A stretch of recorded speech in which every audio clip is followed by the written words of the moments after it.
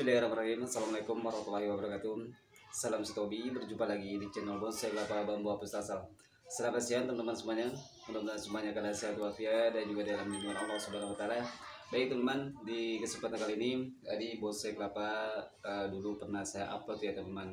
Uh, Di sini uh, saya mau membuka gronanya ya teman saya mau lihat uh, perkembangan di akarnya. Sudah bagus apa belum ya teman tapi kalau misalnya uh, kurang bagus ya teman saya uh, akan ground lagi ya teman. Nah, di sini saya mau melakukan pembukaan gronanya uh, supaya teman-teman juga tidak penasaran ya untuk uh, hasil dari program ground ini ya teman. Jadi uh, buat teman-teman yang baru bergabung membuat bosek kelapa mudah-mudahan uh, ini menjadi sebuah motivasi ya buat teman-teman. Kalau teman-teman mempunyai bosek kelapa di rumah uh, untuk memprogram akar jadi bagusnya di ground seperti ini ya teman Oke teman, saya share terus videonya, jangan di skip, tonton full durasi supaya teman-teman tidak penasaran. Saya share terus videonya. Baik teman, di sini banyak rumput liarnya ya teman-teman. Jadi saya buang dulu ya rumput liarnya supaya uh, enak untuk membuka gronanya ya teman.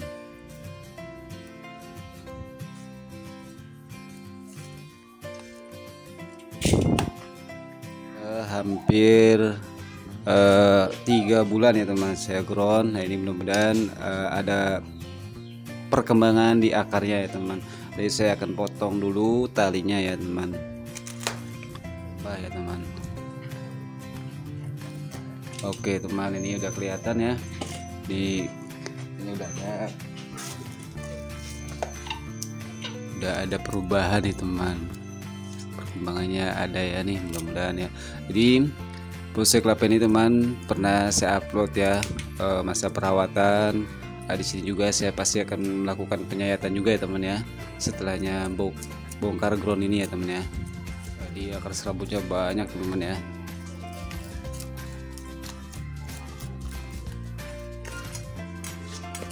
Ini udah kelihatan ya teman ya ini akarnya udah bertambah ya. Di uh, untuk perkembangan di akarnya kayaknya lumayan teman-teman ya. Udah banyak teman.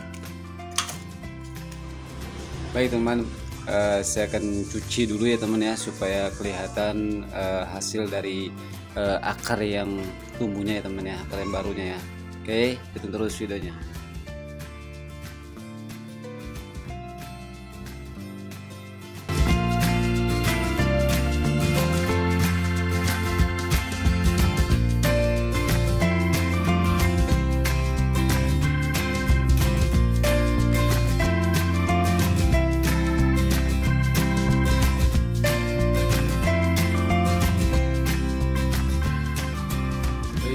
ini hasilnya lumayan ya teman. Ini akarnya banyak ya teman.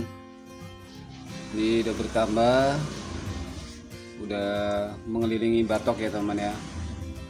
Baik teman saya mau merapikan dulu. Uh, ini ada akar-akar serabutnya saya akan buang ya supaya kelihatannya rapi dan juga bersih ya teman ya. Uh, setelah sebelum ini saya mau melakukan penyayatan dulu ya. Ini ada uh, pelepah yang meninggi ya teman ya. udah tinggi. Tapisnya saya akan sayat dulu ya teman ya e, merapikan akar-akar serabut di akar bonsai kelapa ini teman ya. Ini kulit tapisnya sudah tinggi teman ya. Ini perlu di e, supaya daunnya jadi imbang teman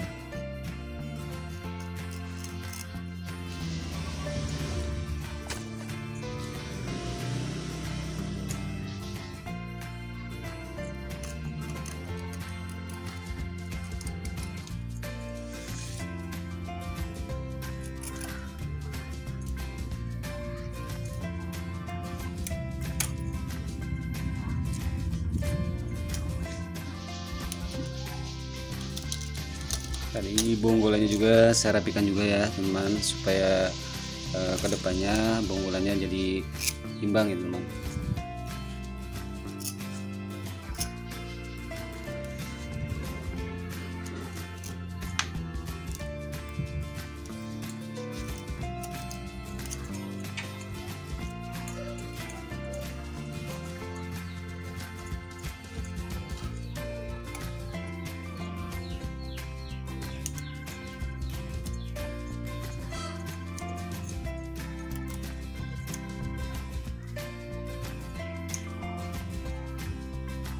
baik teman. Ini penyayatan sudah rapi.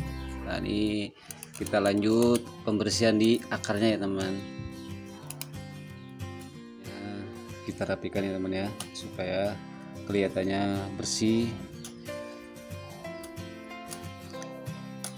Ini akar tiga bulan ya teman ya. Ini lumayan hasilnya banyak.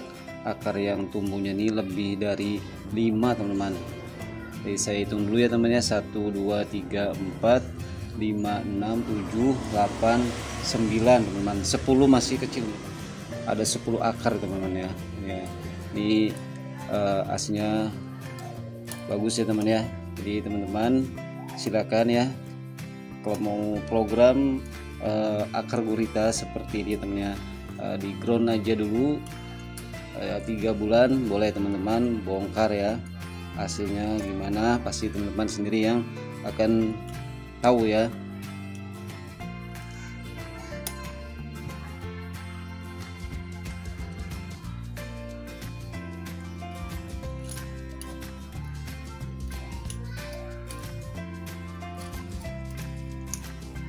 Jadi ini sudah sangat cocok ya untuk kita expose akarnya teman-teman.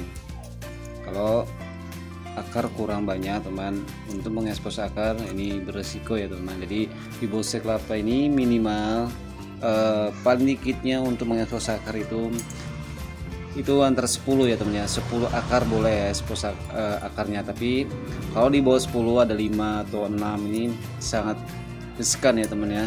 Jadi uh, banyak resikonya ya. Bisa juga bonsai kelapa ini uh, bisa mati ya teman ya. Karena uh, belum waktunya uh, mengekspos akar tapi biasanya teman-teman untuk para pemula nih uh, karena dia tidak sabar dia mengekspos akarnya itu sebenarnya kurang bagus ya teman ya. Minimal mengekspos akar itu 10 akar boleh ya silakan. Tapi kalau akarnya masih sedikit jangan ya teman-teman ya